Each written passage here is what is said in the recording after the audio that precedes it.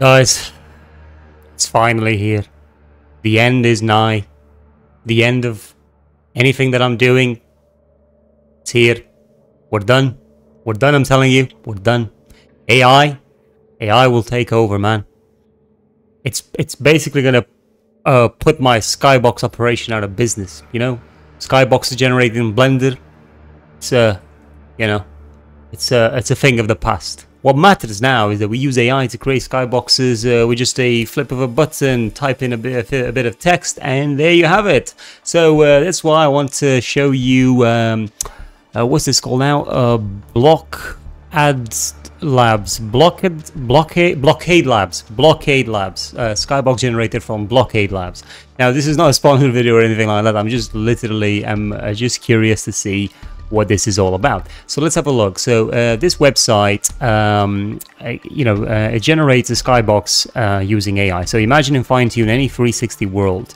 Uh, let's have a look at this website. So basically, you, you can create new um, skyboxes from scratch. You can remix other ones that you've done, altering its basic geometry, and add this to uh, add this in in development. It will let you draw in new elements in place into place in your scene.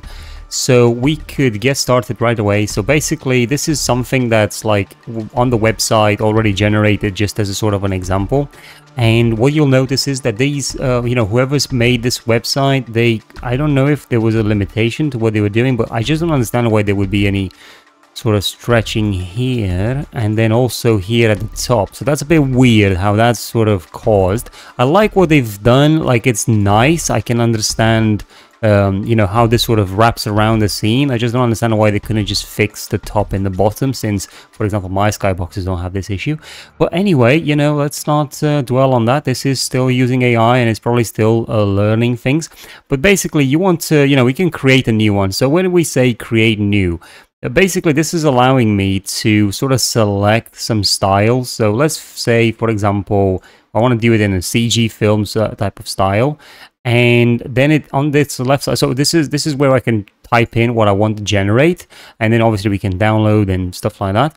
But then you also have this thing here on the left side where you can pan around. So that's what i'm doing right now uh, we've got a pen and a, and a, and an eraser and a brush size. And obviously this is going to be quite useful if you have like a tablet uh, because obviously this will allow you to do uh, some you know good drawing. So um, actually what have I got here? Let me just get my tablet out. I've got a Huion oh, sorry I just pressed the button there. So I've got a Huion tablet that I can use. So I'm just gonna put that over here.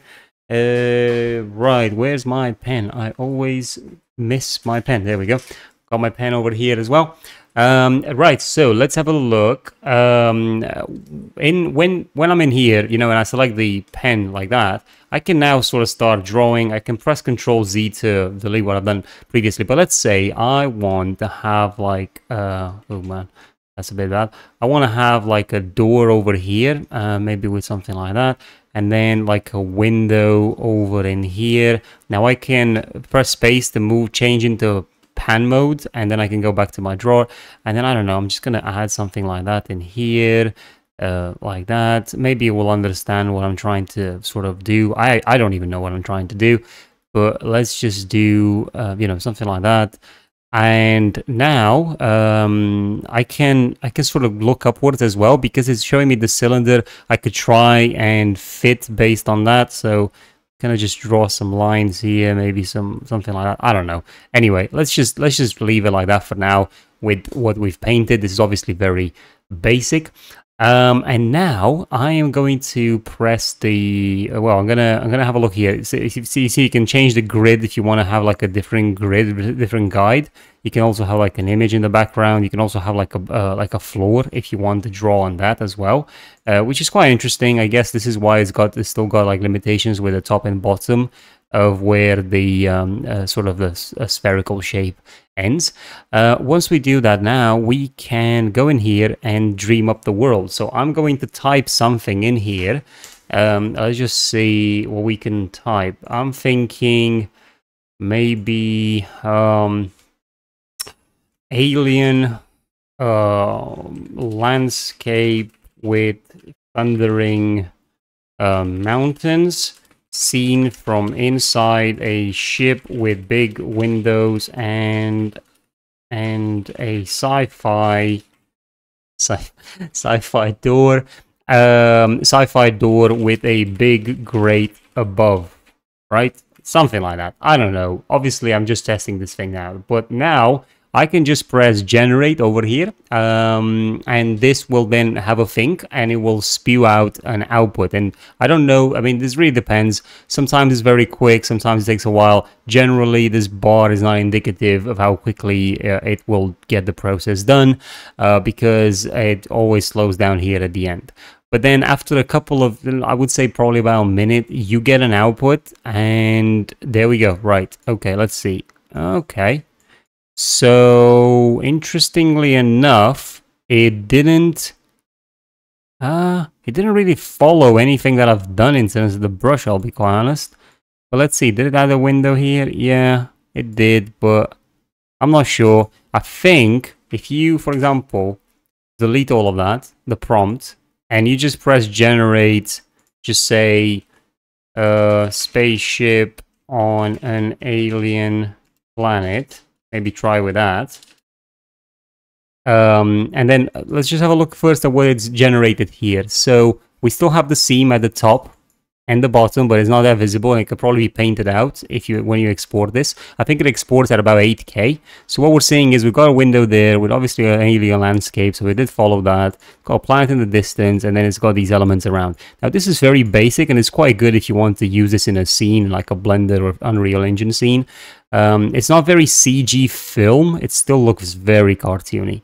But if we click generate again with this new prompt, which is spaceship on an alien planet, hopefully we'll follow that a bit more. But I think as long as you type things in here, it will ignore the more and more of this sort of stuff that you've outlined. Or maybe you just need to add a lot more detail to this until it, you get something right.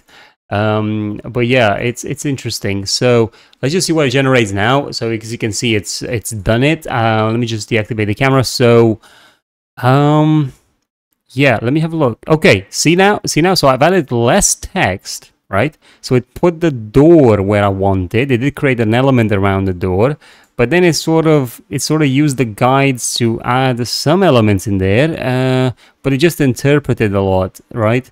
It's interesting. Still still very much interesting for concepting and stuff like that. So i do like it. I do have obviously a lot of empty areas in here. Now the skybox um, center there is very visible as it distorts this, the hell out of this planet um, as you can see over there. So that's not very good. And then the bottom here mm, yeah i can see that.